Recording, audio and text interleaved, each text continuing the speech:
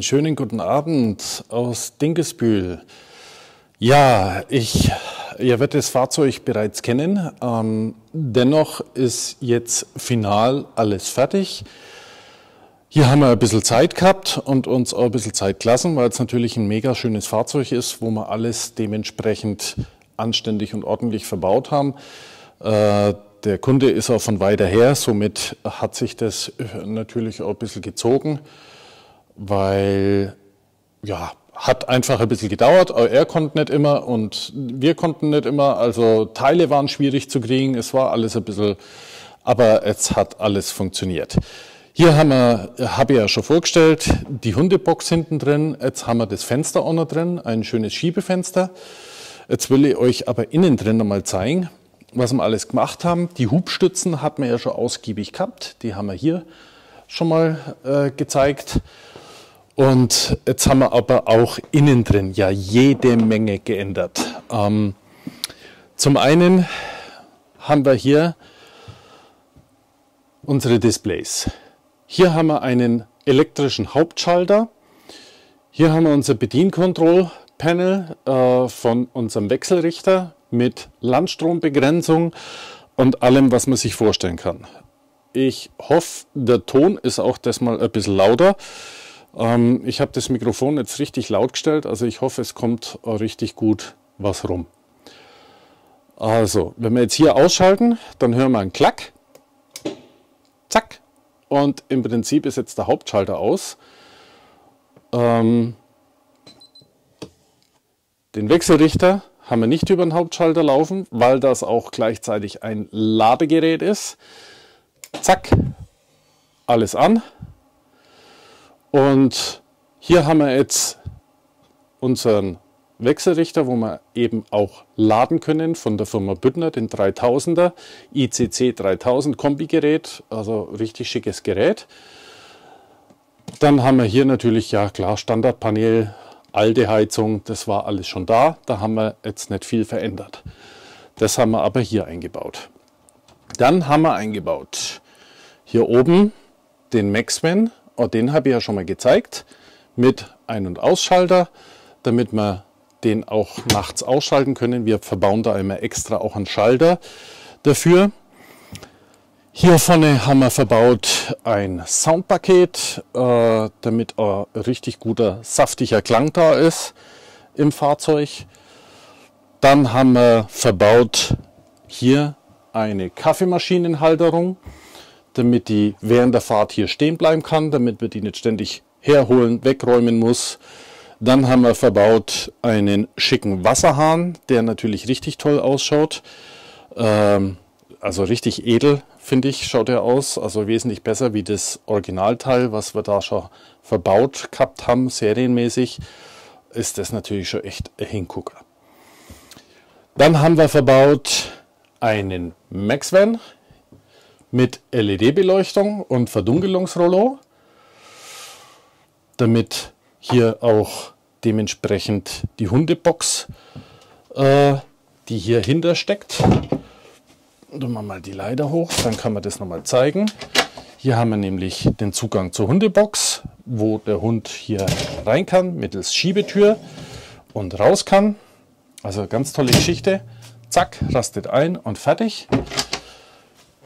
Türe kann man optional natürlich wegmachen, wenn man das möchte. Äh, wir haben es jetzt mal dran gelassen. Ich weiß nicht, was der Kunde haben will. Können wir aber natürlich jederzeit wegbauen.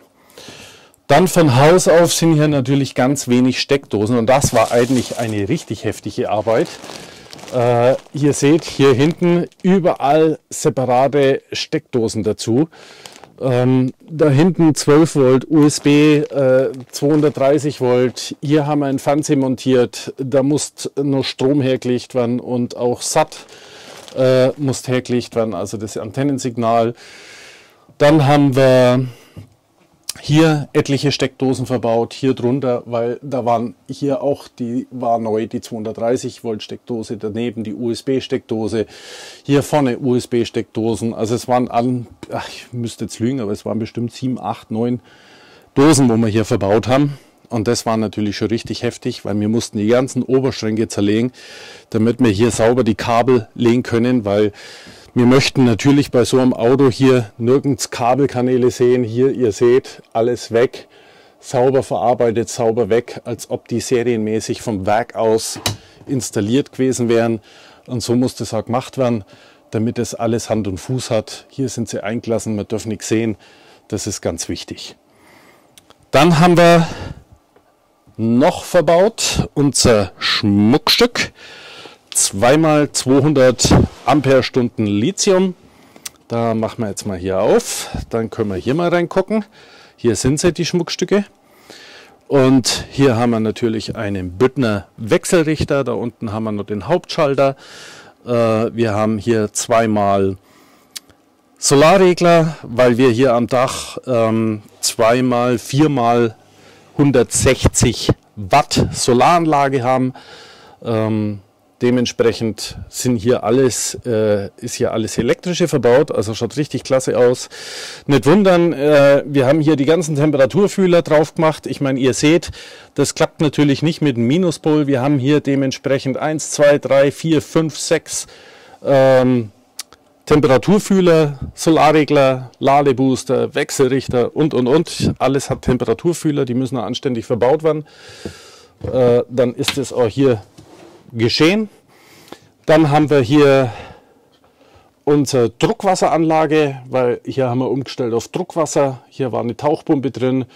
Der Kunde wollte aber eigentlich eine Druckpumpe haben. Das wurde leider vom Werk aus nicht umgesetzt. Das haben jetzt wir umgesetzt, damit der Kunde zufrieden ist und das auch wunschgemäß erfüllt kriegt. Auch ganz wichtig. Dann natürlich die ganzen Kabel, wo man von ganz vorne nach ganz hinten verlegt. Ja, die ganze Elektrik neu gemacht wurde, weil standardmäßig sind wir natürlich mit der Elektrik hier gewesen. Na, also hier unterm Sitz war ja die Batterie. Ihr seht, die haben wir natürlich rausgemacht und dementsprechend wurde hier alles neu verbaut und da hinten haben wir auch unsere Verteilerboxen anständig eingebaut. Hier die Sicherungen, die waren ja schon dementsprechend, aber wir mussten natürlich von hier einmal komplett nach hinten gehen, um dass wir dann dementsprechend alles nach hinten wieder haben. Auch haben wir natürlich die Starterbatterie angeschlossen an die Solarregler, damit die jeweils mitgeladen werden. Äh, was kann ich euch noch erzählen? Alles Mögliche. Also ich hoffe, ich habe jetzt nichts vergessen. Ähm, das war ja hier wirklich eine ganze Litanei. Ähm, Maxvan habe ich schon gesagt. Äh, Maxvan, ja genau. MaxView, vier Platten Solaranlage. Also war echt eine Menge.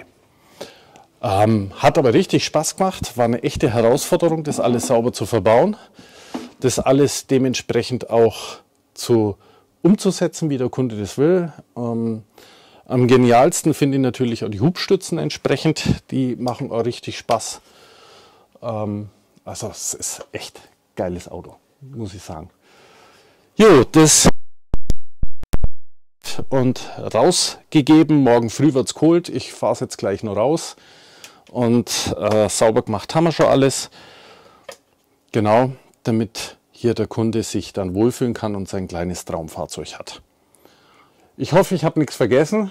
Ähm, wenn, dann korrigiert mich, aber ich glaube, wir müssten alles gesagt und gezeigt haben, was wir hier umgebaut haben. In diesem Sinne äh, zeige ich euch jetzt gleich noch ein Auto, was wir die Woche gemacht haben. Und da hole ich euch gleich wieder mit dazu. Bis gleich. So, hier sind wir im nächsten Auto, im Rollerteam. Ihr seht schon, wie ich es hier hinhalte. Das ist das Navigationsgerät des 903 mit dem schwenkbaren Display. Also das ist richtig cool. Da äh, macht richtig Laune, weil man sich das zum Fahrer hin ein bisschen gut hindrehen kann. Also das ist richtig geschickt. Das haben wir hier verbaut darf ich euch mal zeigen. Jetzt hoffe ich mal, dass das gut rüberkommt. Oder warte mal, ich mache mal das Hauptlicht an, ähm, damit wir entsprechend was sehen können. Jawohl, jetzt, dann kann ich mal das da ausmachen. Jetzt wollte ich hier mal leise machen.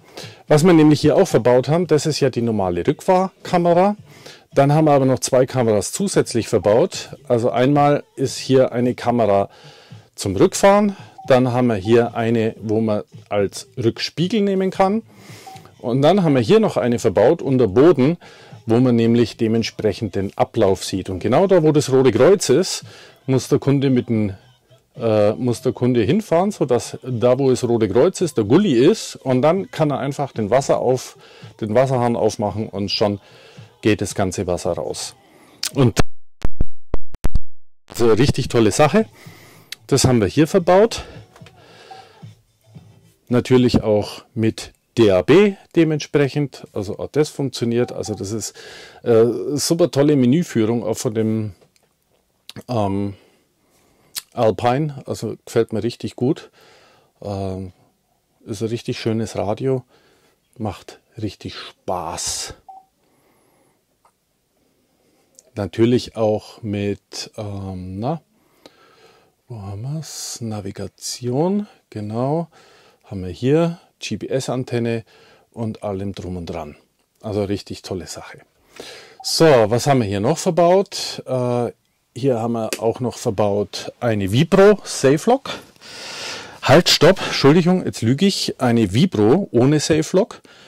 Äh, wir haben hier die normale Vibro mit Profinder und ähm, Bluetooth-Vernetzungsmodul verbaut, um dass der Kunde sich dementsprechend hier ähm, sicher fühlt. Haben wir die ganzen Fensterkontakte verbaut, damit es passt.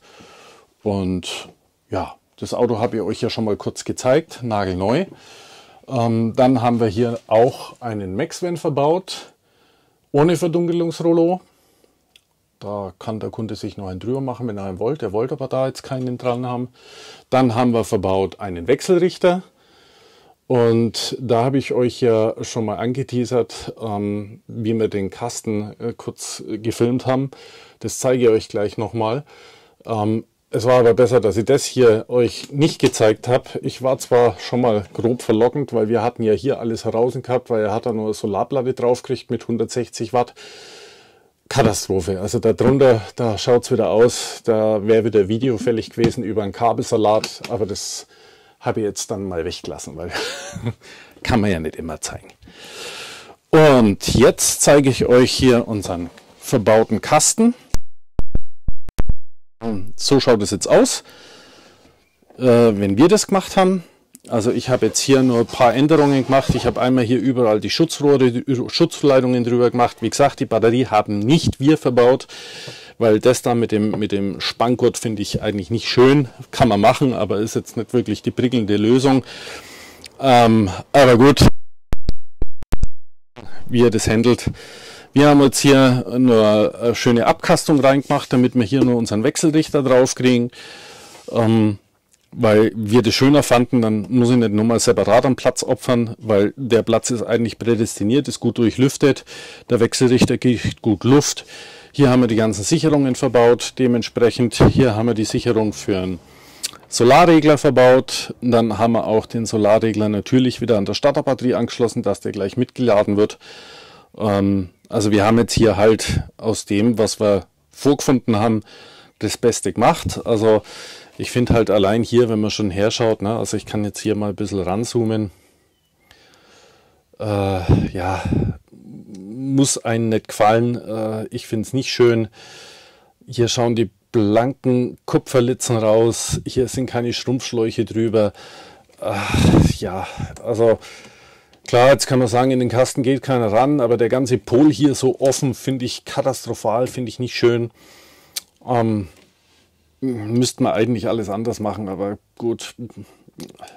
Sache blöd, Kunde wollte sein Auto wieder haben nach einer Woche. Ich hatte keine Zeit gehabt, ähm, weil wir terminlich ziemlich voll sind. Somit, äh, Kunde hat einen Folgetermin, konnte es nicht mehr umsetzen, aber es ist, es ist echt, ja, nicht wirklich der Maßstab aller Dinge. Also, ich finde da die Klemmen nicht schön. Ne? Also das, das, kommt auch dazu, weil die halten auch nicht richtig, die muss man ständig sichern, äh, weil die, die Pole natürlich konisch sind und, und die Klemmen hier, der zum Beispiel, ich meine, gut, da ist jetzt oben drauf eine Schraube, weil sonst wird der auch ständig runterrutschen. Also es ist alles nichts Schönes.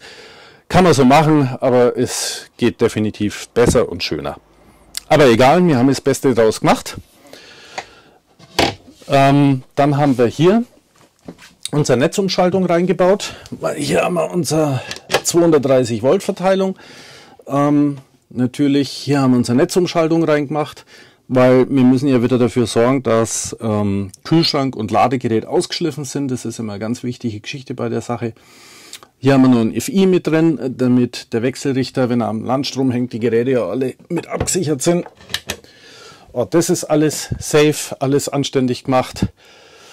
Fahrradträger haben wir montiert und was ich euch jetzt hinten in der Garage nicht zeigen brauche, aber haben wir nur ein paar Airline-Schienen reingeschraubt, äh, wo der Kunde haben wollte, vier Stück, damit er seine Ware sauber transportieren kann und sauber handeln kann. Ja, ansonsten optisch ein schönes Fahrzeug, schön hell, tolle Beleuchtungskörper sind da herin, also äh, die blauen Nachtleuchten finde ich da hinten ganz geschickt. Also schaut echt schön aus, auch das Schlafgemach schaut schön aus mit dem, mit dem indirekten Beleuchtungen, schöne Lautsprecher hier hinten, äh, da oben. Also es ist schon wirklich alles ganz schick gemacht. Hier das Badezimmer mal kurz, wie es hier ausschaut. Also ist auch nicht schlecht. Was ich auch toll finde, ähm, man kann hier die Türe natürlich zumachen. Jetzt ist sie gerade zu, ne? also richtig eingerastet. Das heißt, hier ist die Dusche, die ist auch sehr schön. Und man kann jetzt hier richtig, hat richtig Platz. Also so ein richtig schönes Badezimmer, wo man sie duschen kann, fertig machen kann, umziehen kann. Also hier unten haben wir die ganzen Kleiderschränke drin, Schubkästen drin. Also ist schon, ist schon ein schickes Fahrzeug. Also ist schon richtig schön gemacht. Kann man lassen. Ja, ich habe Anregungen gehabt, warum wir den Wexman nicht äh, hier verbaut haben. Ich habe es ja schon mal gesagt, der Kunde äh, und ich, wir haben das so besprochen, weil wir zwei Fliegen mit einer Klappe schlagen wollten. Jetzt ist er geteilt, das heißt, ich kriege einmal die Feuchtigkeit vom Duschen raus, ich kriege aber auch hier die Feuchtigkeit vom Kochen besser raus, weil er hier nicht ums Eck montiert ist weil hier gibt es keinen Dunstabzug und somit, wenn ich hier mal was koche, äh, Nudelwasser oder überhaupt egal was, äh, schalte ich den ein und dann ist es schick, weil dann tut er mir gleich die Feuchtigkeit nach außen ziehen. Und das war der Grund, warum wir den hier an dieser Position verbaut haben, wo er auch meiner Meinung nach definitiv mehr Sinn macht, wie direkt hier in der Dusche. Ähm, aber das ist Geschmackssache. Ich finde es halt so schick, weil ich hier einfach mehr Fliegen mit einer Klappe schlagen kann. Auch davon das Hubbett, ne? toll beleuchtet. Also das finde ich auch schön. Schöne Ambientebeleuchtung, tolle Sache. Ja, das wollte ich euch zeigen, wie wir hier fertiggestellt, was wir hier alles fertiggestellt haben. Ähm, dann haben wir ja nur den roten Pressel gehabt, den habe ich euch schon gezeigt mit der Dieselheizung. Ähm, ja, dann haben wir wieder einiges hinter uns die Woche. Jetzt ist Freitag, jetzt schließen wir das alles ab. Morgen werden drei Fahrzeuge geholt und zwei kommen wieder und dann legen wir nächste Woche wieder volle Kanne los. Da freue ich mich schon drauf und da lasse ich euch natürlich wieder teilhaben. Und in dem Sinn wünsche ich euch noch einen wunderschönen Abend und ganz liebe Grüße aus Dingesbühl. Ähm, ja, gesund bleiben und Kopf hochhalten. Ostern geht auch vorbei und danach wird alles besser. Hoffen wir mal. also in dem Sinn, macht's gut, bleibt gesund. Vielen Dank für die Likes, Abonnenten und über jedes Like und Abonnement freue ich mich natürlich, weil es ist unheimlich schön, dass man hier ein bisschen Bestätigung kriegt, dass man auf dem richtigen Weg ist, dass man euch auch das zeigt, was ihr sehen wollt. Und ja, in dem Sinn, alles Gute, bis bald. Ciao, ciao.